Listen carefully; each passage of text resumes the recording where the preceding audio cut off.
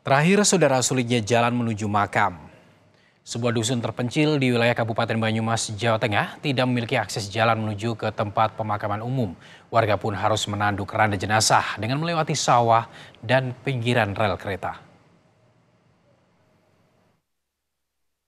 Warga Dusun Karangkinasih di Desa Pasir Kulon, Kabupaten Banyumas harus menempuh perjalanan panjang untuk menuju tempat pemakaman. Dari video amatir warga, sejumlah orang tampak harus menandu keranda jenazah dengan melewati sawah hingga melintasi pinggir rel kereta api. Pasalnya, dari dusun mereka tak ada akses jalan menuju tempat pemakaman. Warga bahkan harus menyewa keranda ke dusun dan desa lain karena tidak memiliki keranda dan tempat pemandian jenazah sendiri. Untuk membantu warga, Satuan Reserse Narkoba Polresta Banyumas dan komunitas jurnalis se-Banyumas memberikan keranda dan tempat pemandian jenazah bagi warga. Dengan demikian, warga tak perlu lagi meminjam.